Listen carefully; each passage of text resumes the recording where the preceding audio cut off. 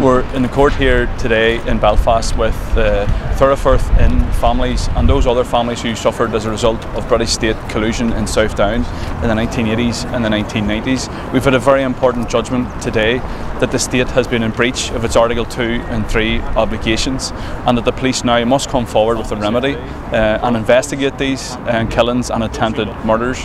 What we had in Southdown for a number of years was the state facilitating, orchestrating and then cleaning up after a loyalist criminal gang as they went about their insidious business of targeting and killing innocent Catholics and nationalists in the Southdown community. The state have an obligation now to investigate this and ensure that the families can rely on truth and justice at last. We're also thinking today about those families who can't be here, those who were tragically killed in these incidents, but also family members who are still too traumatised to come to court today. So our thoughts with them also.